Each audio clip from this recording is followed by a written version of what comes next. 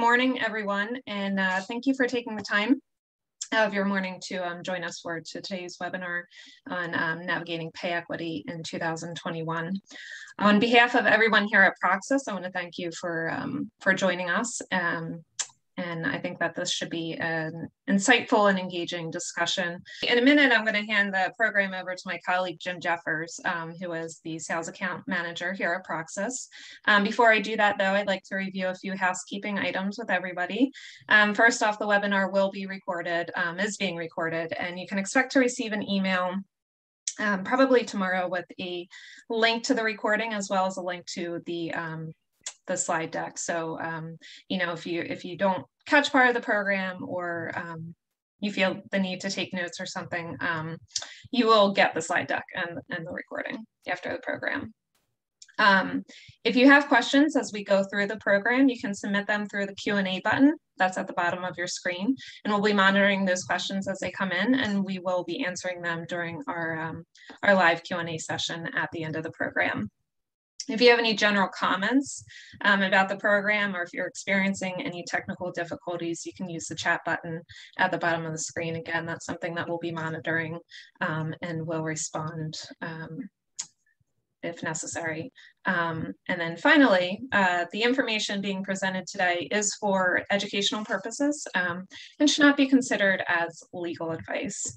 Um, with that, I'd like to turn the program over to Jim. Uh Thanks, Tara. Jim Jeffers, uh, sales account manager at Proxus. Um, before we get started, I wanted to walk through the flow of today's program so we know what to expect. Um, first, we're going to explore um, the existing federal and state equal pay laws and how they apply to businesses in the area. Then we'll touch on salary history, um, laws in Pennsylvania and New Jersey, and what you can and cannot do with those laws. Uh, next, we'll explore some of the trends and issues uh, surrounding pay equity, in the workplace today and uh, how your business can protect itself. And then we'll wrap up with a Q&A session. Um, and you'll have a chance to ask our panelists um, any questions you might have uh, or anything or anything that might come up during the program. So um, first, I'd like to introduce our speakers. Uh, we have Dennis Shrenk, who is the Senior Compensation Director here at Proxus. Dennis has over 20 years experience in compensation, program design, implementation, and management um, through everything from market pricing, salary structural, e structure, equity analysis, FLSA compliance, and more. Uh, Dennis is, helps uh, companies align their compensation in initiatives with their overall business strategies. And uh, next, we have Michael Torchia, who is managing member of Semanoff, Ormsby, Greenberg, and Torchia. Um, his practice is con- concentrated in commercial litigation with a strong emphasis on employment law. He routinely represents and counsels local, regional, and national and international businesses um, of all sizes in state, federal courts throughout the country on variation of litigation matters. Um, we are excited to have both our speakers here today and uh, look forward to their insights into pay equity. And um, with that, I will let you two take the program. All right. Thank you, Jim.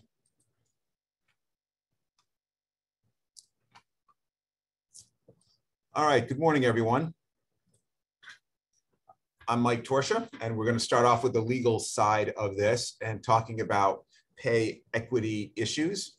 Um, we're going to talk right, get right into equal pay laws. So um, I'm going to be speaking about two main areas, laws that don't allow employers to pay men and women differently. And then some of the questions you can ask or you may not ask during the application and recruitment process. There have been a lot of changes in that area recently. Um, as Tara said, I'm going to go pretty quickly through these slides, uh, but this session is being recorded and the PowerPoint will be available. So don't feel like you have to write everything, write everything down right away.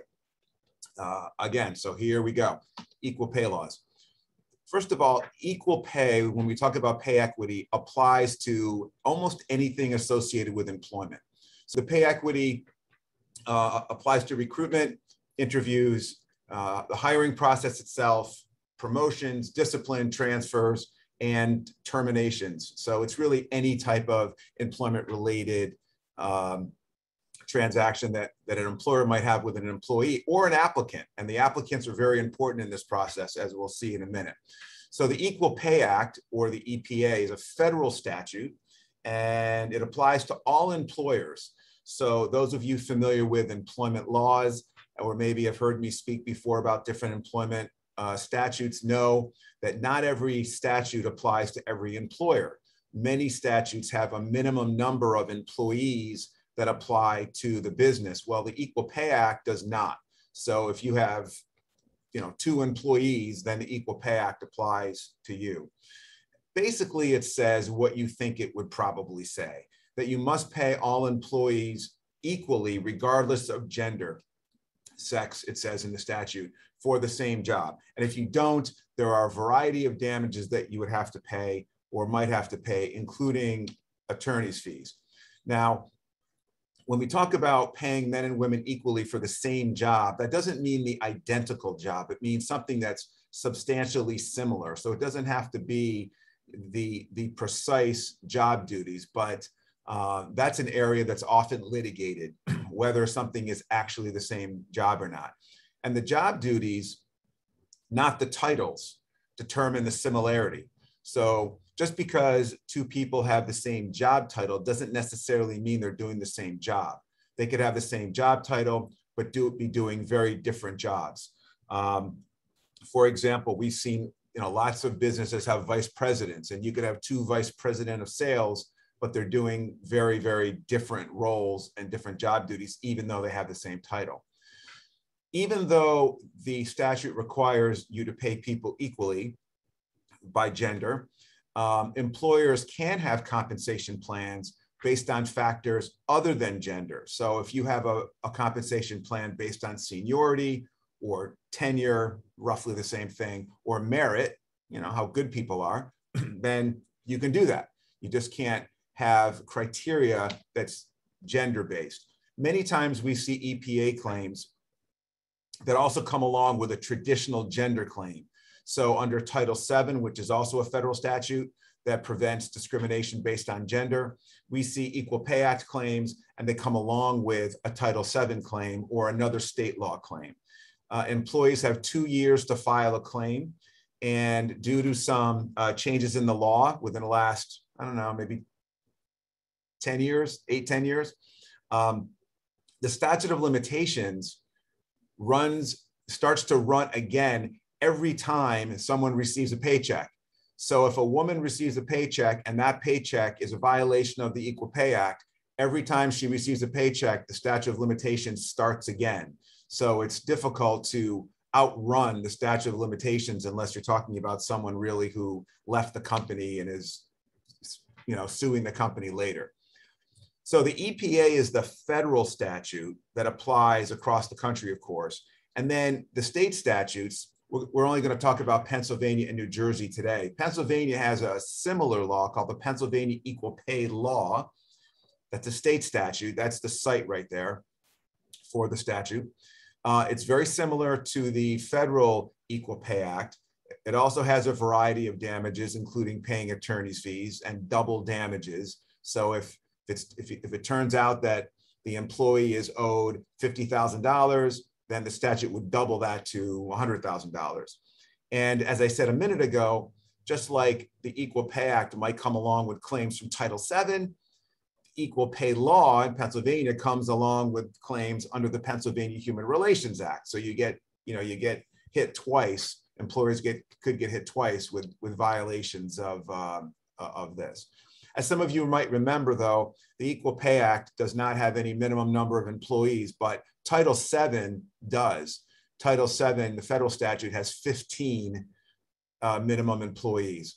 And the Pennsylvania Human Relations Act in Pennsylvania has only four. So if you have four employees or more, then you are subject to the Pennsylvania Human Relations Act. Um, okay, on the New Jersey side, across the river, they have the New Jersey Equal Pay Act, slightly different name. It's more closer to the feds. That's also a state statute um, enacted in 2018. Um, that's the that's the site.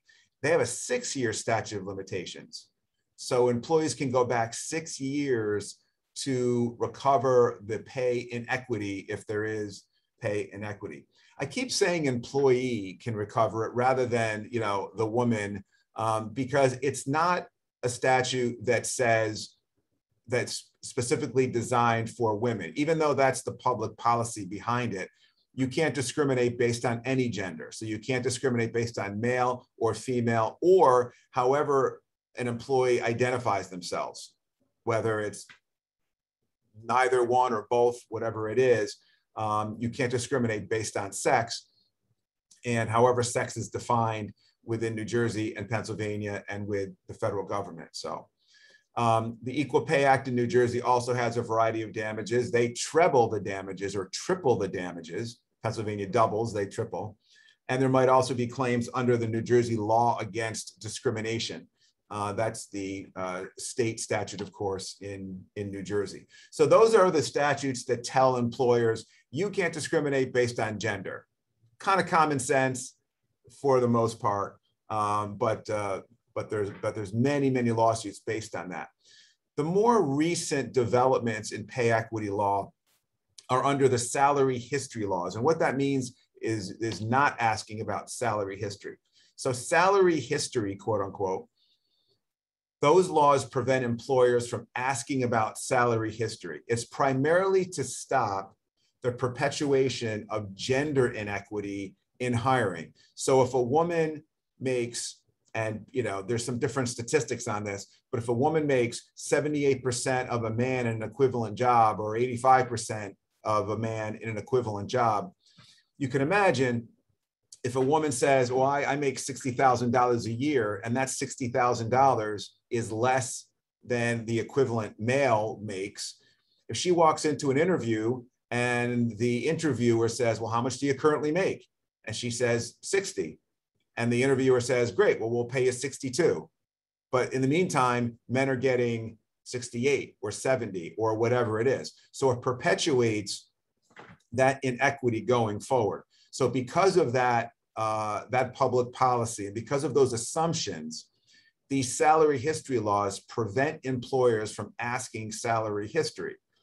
There's no national ban on salary history right now. There's no federal law that stops employers from inquiring about salary history. There are 21 states, though, that do have a salary history ban, and there's many little local pockets, county laws and local laws that have something like that.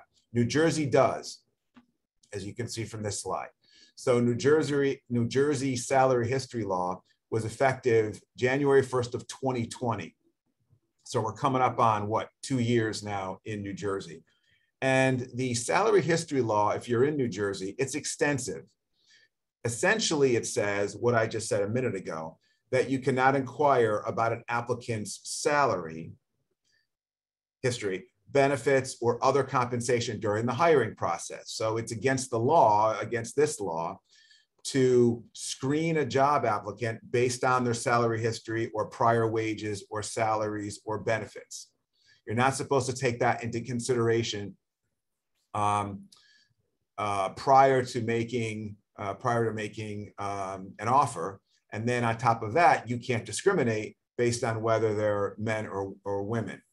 So there are exceptions to that though. So the general rule is don't ask about salary history during the recruitment process or the interviews, but there are many exceptions. And again, there are lots of words on these slides and you'll get the slide. So, you know, don't feel like you have to madly make notes. Um, so when can employers ask about salary history? Well, you can ask about salary history to um, uh, if, if the employee voluntarily tells you. I mean, you're not going to ask, but if you're sitting in an interview and an applicant, you know, Shirley, Shirley's in the room with you, and Shirley says, you know, right, you know, right now I'm making about $60,000. Okay, well, you didn't ask, you're not in violation of the law. She volunteered that. Um, you can you can ask about a salary or to confirm salary history after an offer of employment has been made. After you explain the compensation scheme. So I think Dennis will talk about this a little bit, but employers really should have a compensation scheme, a range of what jobs pay. So after you make an offer and after you say to Shirley, this job pays between 70,000 and 82,000, whatever it is, then you can ask. But you've already told her, you know, what the what the salary scheme is. Um, you can consider salary history when you're making an internal transfer or promotion. So once someone's in the door and they're a current employee, then you can ask and uh, and and take that into consideration. Um, you can ask you can ask salary history if the employee was previously an employee of your company. So if they worked at the company and then left and come and came back, you're not you're not prohibited from knowing what they're what they used to make, you know, at, at your own company. That's a that's a strange one, but it does it, it does come up every once in a while. And then finally, you can uh, ask about commission structures. So if someone is a commission salesperson, for example, you can say, well, what was your commission structure at your prior company? Did you get 2%? Did you get this? Did you get that? Um, but you can't ask what they earned. You can ask about the plan and the structure and the procedure, but you can't say, okay, well, you know, what did that, what did that mean for you in a, in a year? You still can't ask the, the, um, the, the, the overall, the overall question. Um, and then finally, you can ask questions to comply with federal law or to state or for state law or in union situations or for civil service. And uh, some of you might be in that situation where you have a union, a union shop. The penalties for asking are um, $1,000 for the first violation, 5,000 for the second violation. You know, so we have these civil penalties in these statutes, but more than that, you're probably going to you're probably going to lose the applicant. If it's someone that you like, and that you're trying to bring in. And we all know that the job pool right now is very difficult. Um, asking these questions, even when you're allowed to ask them in some states, not New Jersey, uh, may mean a problem at the interview. Someone might say, well, can you ask that? Oh, well, yes, uh, we're, we're allowed to ask that with these exceptions. I mean, you're really going to have that conversation in, in an interview. So what many employers are doing is just simply not asking these questions in interviews, even when they're allowed to do it. For example, Pennsylvania. There's no general statewide ban, there's no Pennsylvania law that says you can't ask these questions. However, you, the Pennsylvania state agencies, if you work for the state, can't ask them if you work for the state. Uh, but in a private company in Pennsylvania, you can ask those questions unless you're in Philadelphia. Philadelphia does have a ban that started September 1st of last year of 2020. Uh, Pittsburgh has one effective that goes way back, actually, January 30th of, of 17.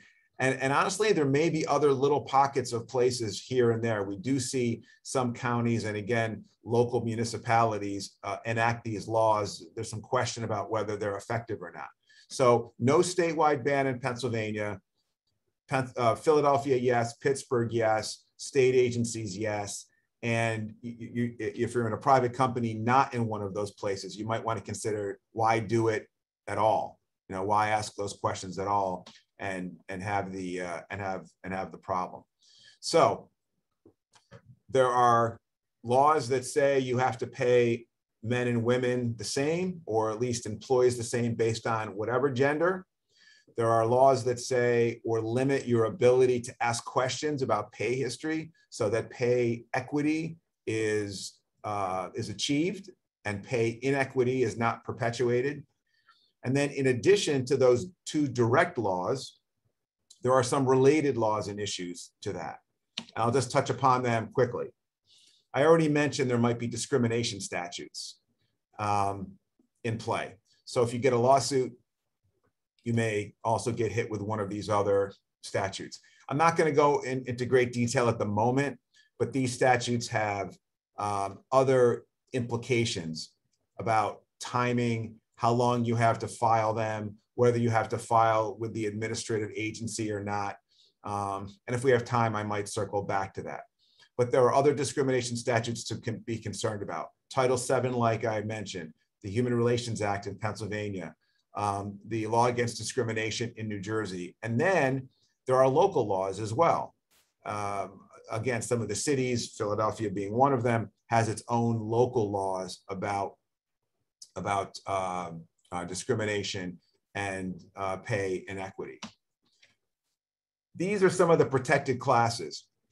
When we talk about pay inequity, and I know we're focusing today mainly on gender, but when we talk about pay inequity, you can't discriminate against any protected class. Just because we're talking about gender doesn't mean that you can pay people differently based on race, right? Again, I think that's common sense. I think people know that, but sometimes uh, not so sure. But just let's just run through some of these protected classes. Some of these are very obvious and very common, and some of them are not. So, you know, the first on the left uh, side here, race, color, national origin.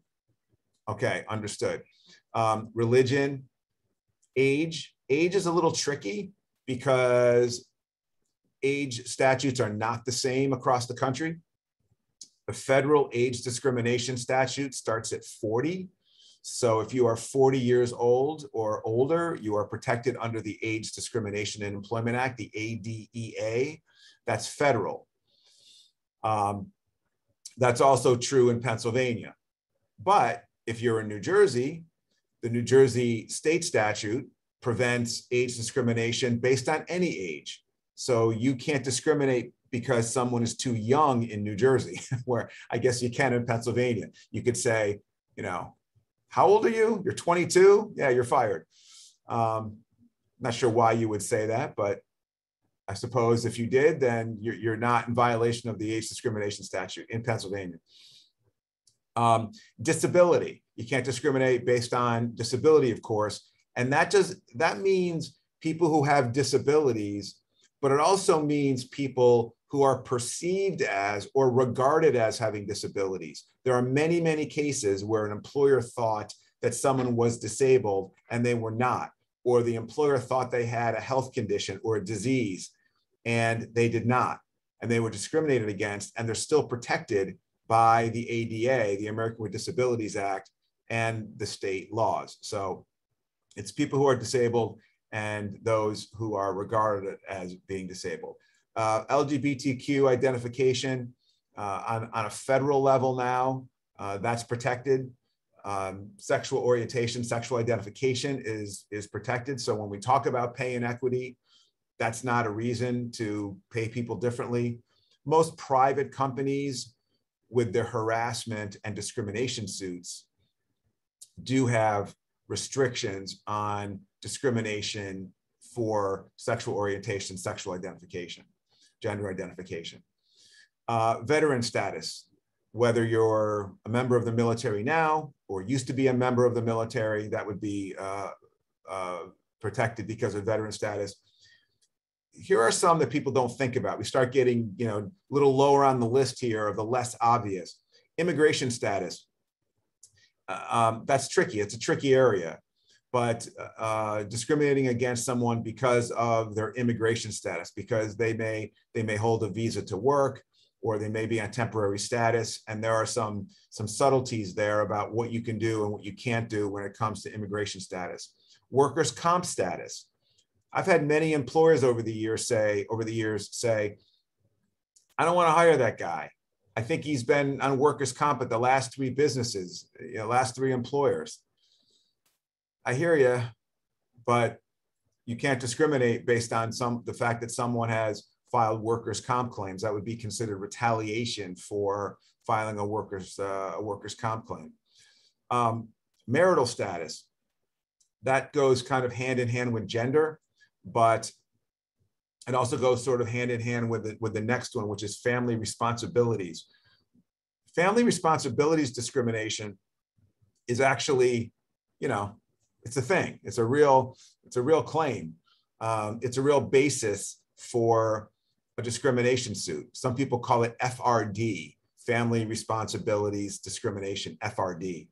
And that means that someone is being uh, denied certain opportunities because he or she is married, because he or she has responsibilities to take care of maybe um, elderly family members, or they have children, or especially, especially young children, where you will hear businesses say, we don't want to hire her. you know, she has three kids under 10, and she's going to be leaving every five minutes to take them to the doctor and to pick him up from school and to go to soccer practice and all this kind of stuff. And that's a form of discrimination, family responsibilities discrimination linked linked closely to gender.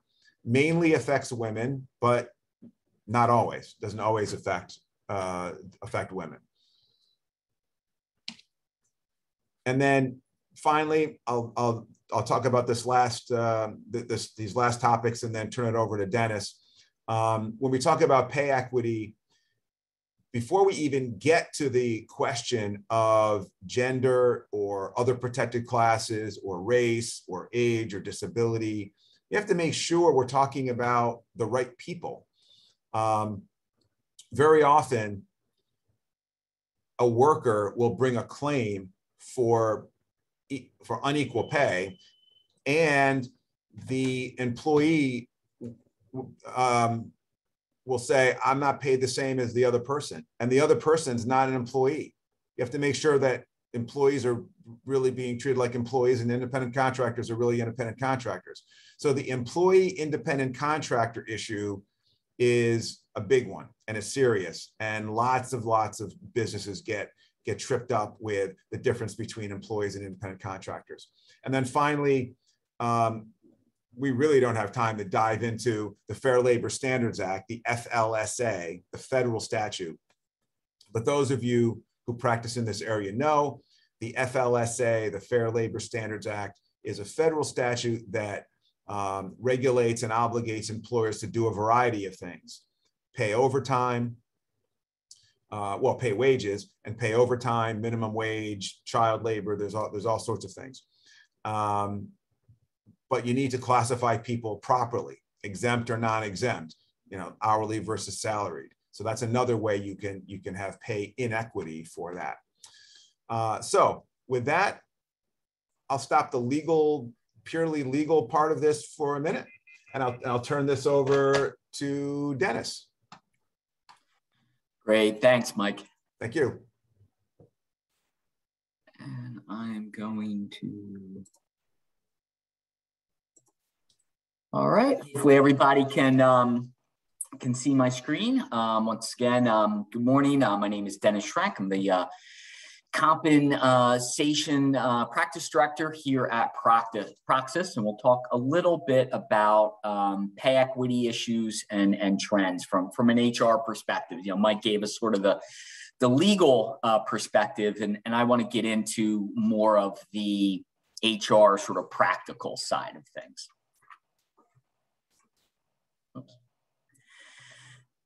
So Mike touched a little bit on the Fair Labor Standards Act, and, and you, you could do a whole webinar. In fact, I've done webinars on just that act alone. Um, so I don't want to get too deep into it. Um, but when we talk about fairness and we talk about equity, I, I think it's important to touch upon it. Um, so I just want to make sure that everyone understands that from the Department of Labor perspective, the presumption is always that the employer of the job is non exempt and eligible for overtime. So the burden of proof is always on the employer to prove that the employee is exempt from overtime and you can pay them a salary. So that's just a really important thing to keep in mind. And when I counsel my clients, I always say if, if you're in doubt on a job and you could kind of go either way, you're looking at the duties test, always err on the side of caution and and make the employee hourly and pay them overtime. It, it's just the, the the safer course of of action. You know, I just I tend to be very conservative, so small c conservative um, on this point is always to err on the side of caution. And when we think about equity, we want to make sure that under the FLSA, we're not treating groups differently, right? So let's say you have one job, let's say financial analysts, right? And they're all men in your company. Got them all treated, you know, they're all exempt, but you got a similar job, let's say marketing analysts, um, and they're all women and you have them non exempt. You know, that the, those are things that you should be on the lookout for and, and really ask yourself why are you treating these two groups differently under um, the FLSA? Um, when in the news and in society, when it, when it's so front of mind, equity and, and treating people fairly, it, it's a good time to, to audit your jobs and make sure that you have people um, classified appropriately under the FLSA. It's, it's, it's always a good time to, to, to audit your jobs, but I think particularly now. I also want to um, amplify a, a, little bit about what Mike said around salary history. Um, it, it is best practice not to inquire about salary history. And, and, and I don't care where you're located and what the, the state law is. Um, I, I just, I always counsel my clients, just, just don't ask. Um, because if you have a compensation system in place, okay, you've gone out to the market, you've gotten good objective market data for your positions, You've built a compensation structure around that market data. You have minimums, you have midpoints, you have maximums, you, you true ranges for your positions. Then, then trust your system.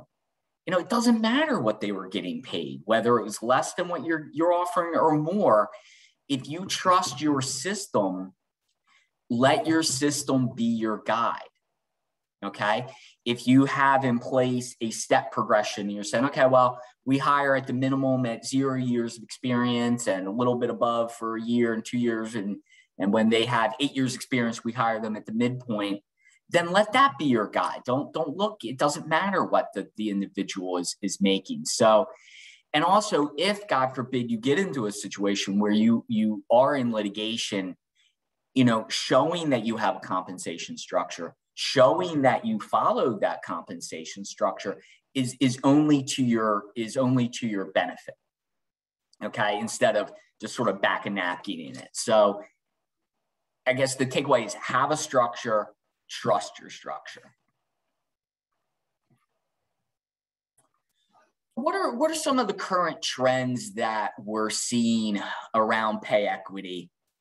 And we're certainly seeing pay equity analysis. You know, we're having companies that are, are, are taking the deep dive into their data and into their pay and doing that analysis. You're doing it in-house or, you know, they're having a consultant. This is something that, that I do for a lot of our clients, doing that statistical analysis. And I'll, I'll talk a little bit about that later. Um, but it, it's, it's a good thing to, to start looking at the data. And then doing whatever remediation strategies you need to do. You know, if it's doing adjustments to people's pay, if it's looking at your policies, and I'll talk about that as well. Um, you know, making sure that, that you're doing something to address these issues. You know, looking at the root causes of pay inequity. Is it because your performance management system is not truly managing performance? Is it because you don't have a compensation structure in place? So when you are hiring folks from the outside, there is no real structure. It's very subjective. It's whatever the hiring manager wants to pay for that position. You know, those can all lead to and, and have in them inherent bias that can lead to to uh, inequity.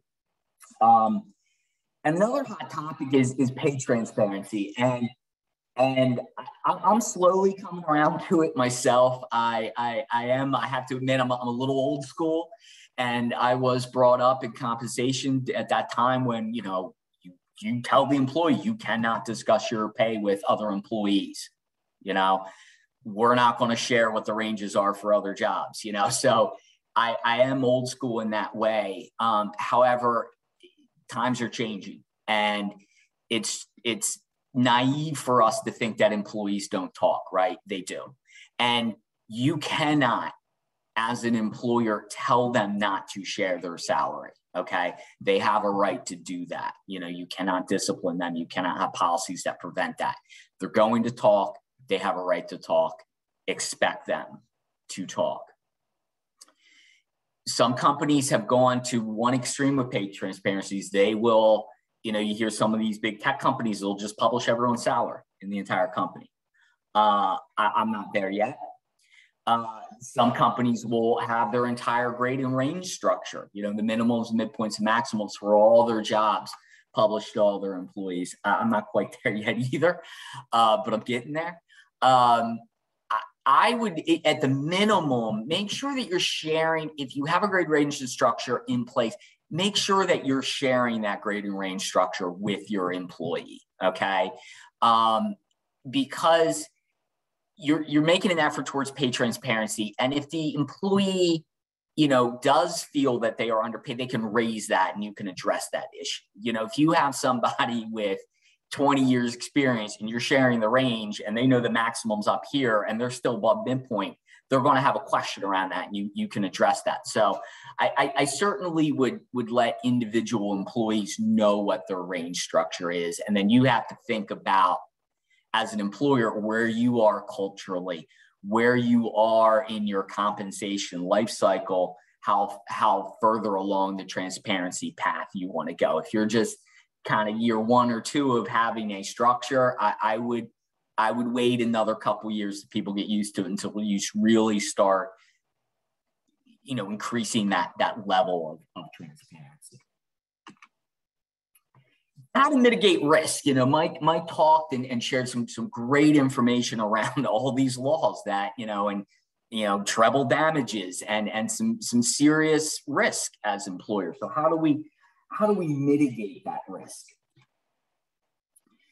One of the steps, and and and I would this is probably one of one of the first steps to take is is audit your pay policies, your guidelines, your compensation um, policies and practices for evidence of bias. Um, if you don't have pay policies in place um, and guidelines in place, now is the time to put them in place. Because again, anytime you have and you can show that you have objective guidelines that you are following, that is only to your benefit if you get into a situation where, where you're litigated against. Anytime the subjective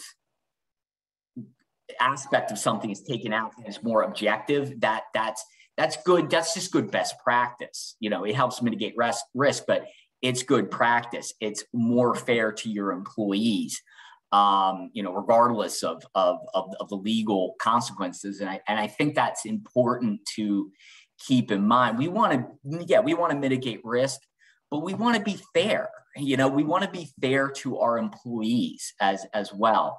So make sure that you're looking at your policies, your guidelines. Maybe have an outside person come in, give you a fresh set of eyes. You know, is there bias? Is there things built in there that that is not fair to your to your employees? Um, another point that you want to look at is your performance appraisal process. And I'll talk about this a little bit later when, you know, when you can have differences in pay and when that's okay. And one of those reasons is having a, a merit or performance based pay for performance process in place that is a, a defense um, for paying somebody differently. So if that's the defense that you, you're going to try to use, you better make sure that your performance appraisal system is truly measuring performance, you know, is truly measuring what the, the what the job does you know, is, you know, does, do your employees have a good idea of, of what the performance standards are and what they are being measured against? And, and this is going to be as, as more and more states and more and more localities are having laws around pay equity, as we see more and more cases in the court, more and more litigation looking at your performance appraisal system will become more and more um, important. And the last point is, and I've talked about this, you know, having a structure, you know, having something in place that's based on, on valid, objective market data, not something that you're, you're sort of back and napking. Winner pay difference is okay. You know, we're not we're not going to go and we're not going to pay everybody the same rate. We're not. Um, we are going to have times when there are going to be differences. Um, and one of those differences, if you have employees doing substantially different work, you know, and Mike talked about this a little bit, you know, comparable, substantially similar and different work. Um, and when they're doing different things, truly different things, and particularly if you have a market based compensation structure and you're market pricing those positions, and that substantially different work is valued differently within the labor market, then having that having a difference there, that that's okay. Um, the one thing though I would caution is you, you can't have the labor market though dictate differences in pay within the same job, right? So let's say you're trying to hire accountants and, and we all know that the labor market right now is crazy and we're doing everything that we need to do to try to bring people in the door okay and based on the market you have to fill this open accountant position and you had to bring them in 20 grand more than what everybody else is paying okay um, so the market drove that but they're doing some, the same job as your existing accountants. So you can't let that market be that justification for other people that are doing substantially similar things. So you would have to move those existing people up, okay? Or at least show that you're you're working on that. You know, maybe you're doing a first round of adjustments and maybe in another year you'll make another adjustment to somehow get parity, right? So you can't you can't let the you can't use the market as an excuse to say treat one individual differently, and and that's something we got to be really careful about right now in this climate in a tight labor market where we are bringing folks in at higher rates because we don't know what else to do because we got to bring people in the door. Um, other times that pay differences are okay if it's if it's somehow related to a reasonable accommodation for an injured, disabled employee. Um, you have employees that have different levels of ability, experience, education levels. Um, particular education levels will definitely show differences um, when it comes to that comparable work um, uh, uh, distinction. But you may pay based on seniority, right? So if you have someone who has and you're tracking this on your system 20 years of experience in the role and you have an individual that you just hired fresh out of school that has no years experience you're going to expect that person that has 20 years experience to be paid more and that's okay um, um, also if it's a bona fide merit process and i talked about that in the previous slide you know if you are differentiating on performance having pay differences based on performance is okay. Make sure you're tracking it in your HR system. Again, make sure your performance appraisal system is accurately measuring performance. Um, and then also incentive based systems. If, if you have a commission based structure or an annual incentive based structure, um, if, if, if that's based again on legitimate objective performance measures and somebody's getting paid more based on that incentive system, that's okay.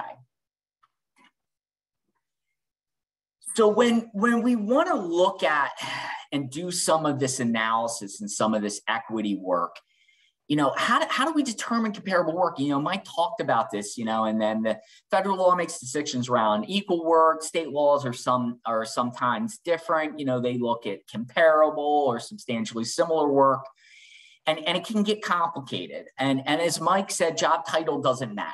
It, it, it's what the folks are doing.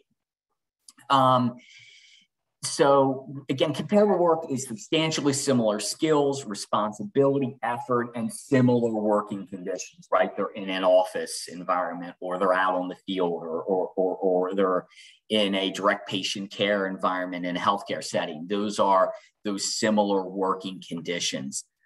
So comparable work, just to give you an example, you might have, say, comp analysts in the HR department you might have marketing analysts in the marketing. They're, they're looking at data, they're making inferences, judgments around that data. They both require a bachelor's degree in a business or some related field. You know, generally that work is pretty comparable. That's something that you would want to look at um, in terms of comparable work. And, and are you, your analysts as a whole, is there evidence of discrimination or bias in your pay when it comes to, to gender or ethnic origin or any other of the uh, protected classes?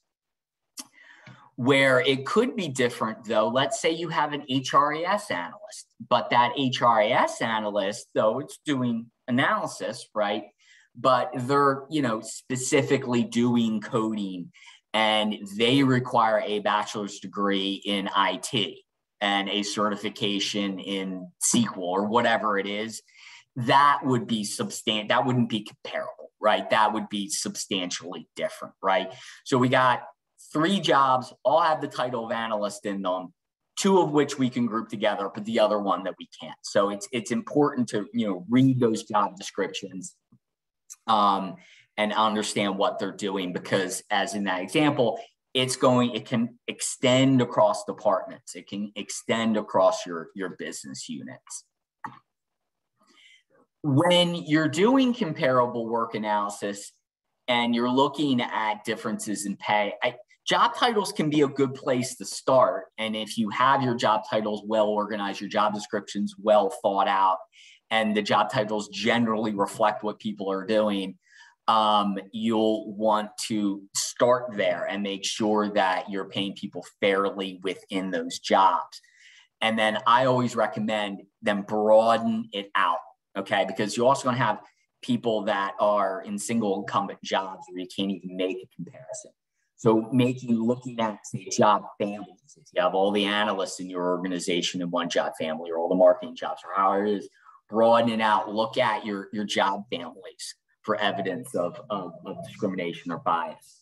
Um, look at your EEO categories. I, I think that that's an, an interesting way to look at and a way to group employees and and and look for evidence of of, of bias or, or discrimination and it's it's something that you know the federal government uses so we're sort of you know doing something that's recognized you know legally as a way to group employees uh, and again other bases of comparison you know your internal uh, ways that you group employees, whether you have middle management group is in is in one group and executives in one group, um, or to my previous example, you know, looking at all of your analysts and and trying to determine, um, you know, what jobs are doing comparable work and and what jobs are not. You got to make sure though your HRIS system is tracking the right data at the employee level, right? Because you need without the data you can't make you can't do the analysis. You can't make the comparison whether you're doing it or you're having a consultant come in and do that. And i know a lot of us you know are tracking gender. A lot of us are tracking ethnic orientation. But think about all the different protected classes that mike talked about you know? Are, are you tracking disability are you tracking veteran status you know are you tracking sexual orientation you know all of these different, you know, and age is something generally, you know, we will have in the system. But think about all these other classes and and are you tracking them? Because if you're not tracking them, how how can you know if you're if you have discrimination there? So that's that's something really important to um, keep in mind because when I've done this analysis for clients, I, I can only um, do analysis on, on the data that I have. I can only compare groups where groups are identified. Uh, so that's, that's a very important point. So going through a pay equity analysis is, is, is great on a number of reasons. And again, I'll, I'll hit this again. It's, we're trying to be fair to our employees, right? We want to pay our employees fairly. You know, we don't want to discriminate um, based on you know gender or ethnicity or, or any of these protected classes. It, it's not the right thing to do. Um, so we want to be fair. We want to we want to get out in front of this. If we have issues, you know, we need to know about them so we can make steps to correct them. From a mitigating risk standpoint, undertaking a pay equity analysis does provide legally um, an affirmative defense. Um, so it's a very valuable step that employers can take now. You know, don't don't wait till you get a um, a, a lawsuit. You know, do it now. And um, and, and Mike might correct me on this, but at least, and I don't know on, on every law, but most laws doing a equity analysis, it's not going, it can't be used against you during litigation, right? It provides for an affirmative defense. It can't be use as evidence to um, uh, to point paint what you're doing in a bad light. It, it, it's, it's really all, all to the good. Um, and this analysis is going to compare pay rates against different protected classes. And I'm not going to, to bore you and, and get into all the statistics that, that underlie it. But in a nutshell, you know, it's, it's looking at the differences between different groups in similar comparable work jobs and identifying where where there's a, a larger than statistically significant um, or it's a statistically significant difference, right? Pay is always going to vary, right? Especially if we're using pay for performance or we're using seniority. So there's going to be swings in the data that just naturally occur.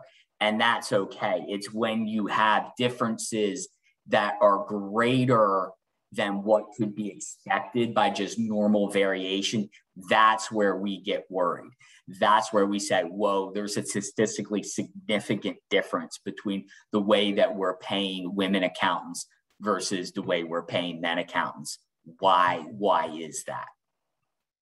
And when we identify those areas, then we dive in, then we do that further investigation and, and, and ask ourselves why. Okay. So it could be all of those reasons that I talked about in the previous slide, could be pay for performance, could be seniority. Um, it could be any number of those reasons um, that having pay differences is okay. And that's great. It's where you can't explain it where you have a problem. So you're using statistics to identify a problem, you're diving into that area trying to explain it based on on the allowable reasons. And then when you can't explain it you better go and fix it okay?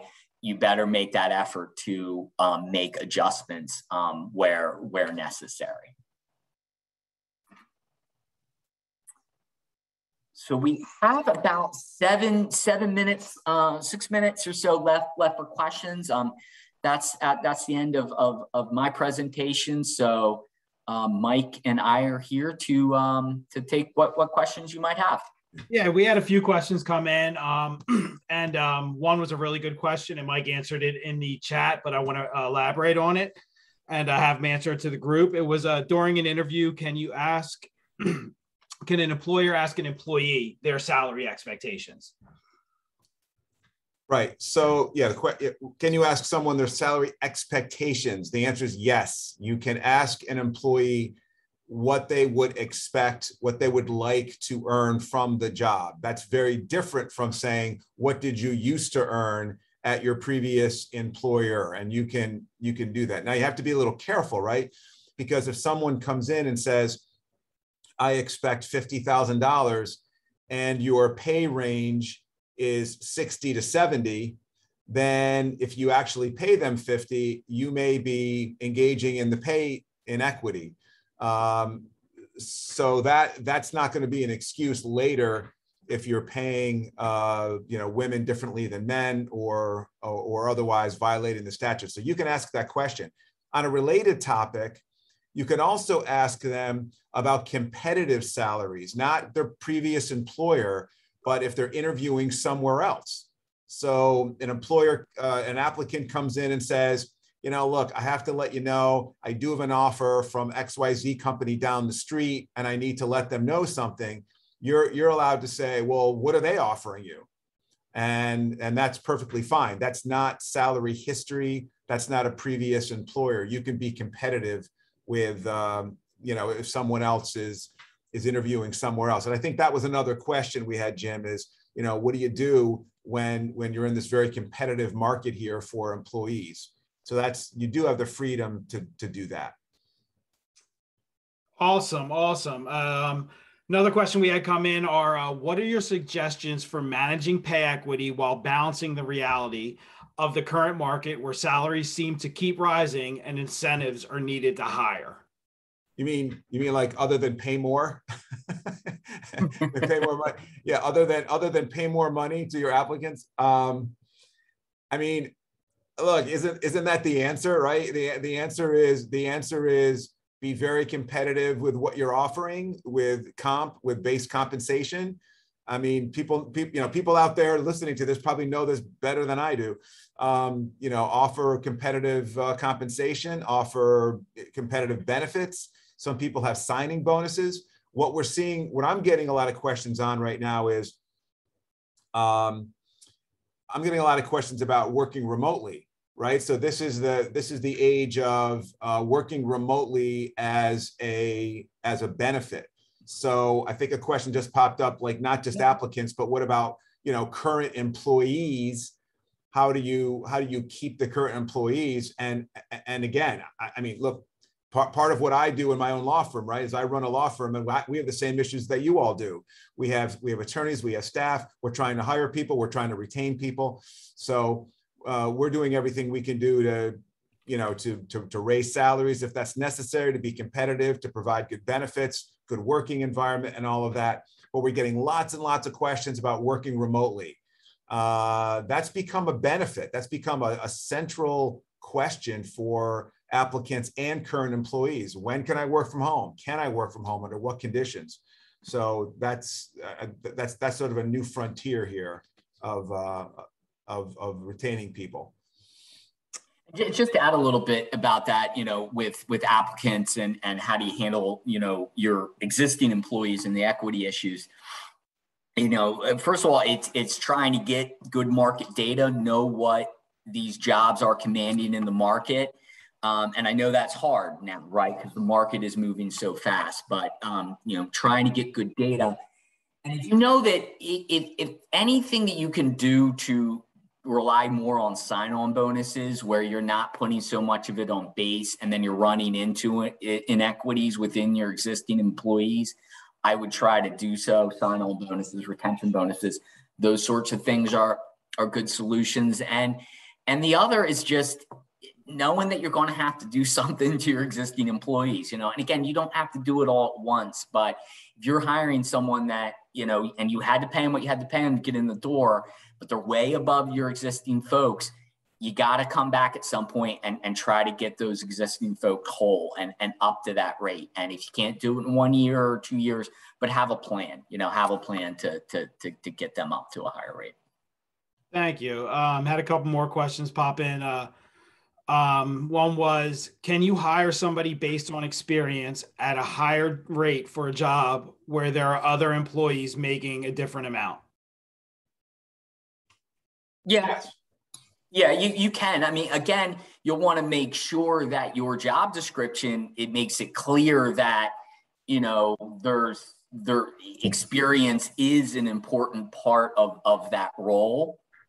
Um, but if it's if it's if this individual has 20 some odd years experience and most of your folks are new grads and you're bringing them at a rate and you have a compensation policy and structure in place that rewards for years of experience, yeah, you can bring them in at a high rate.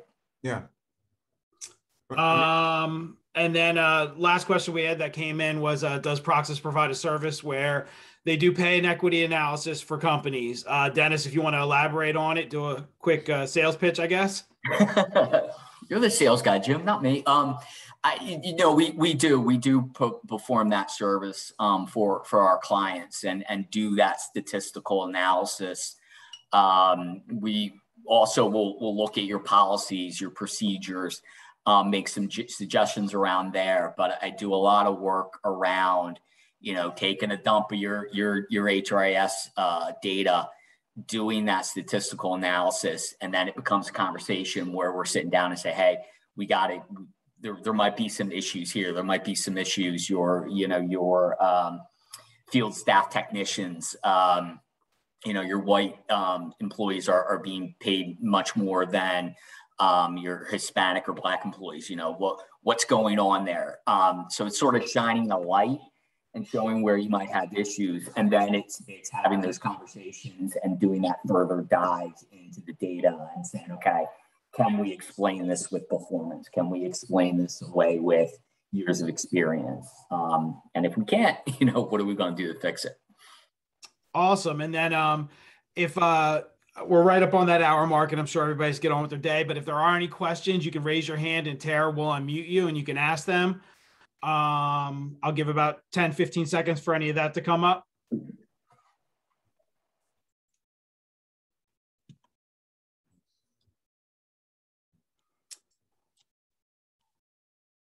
All right, perfect. Well, um, thank you for the time today on uh, behalf of Mike and Dennis. Um, it was great uh, getting this information out to everybody. Um, as Tara mentioned earlier, um, look for an email probably tomorrow with a recording of this as well as the slide deck. And uh, we'll have contact information for Mike, Dennis, and myself. Um, and if you have any questions, um, you can just uh, you know, shoot us an email or give us a, a uh, phone call. All right. On uh, behalf of Proxus and uh, Mike and his team, uh, we want to thank you. Bye, everyone. Thank you.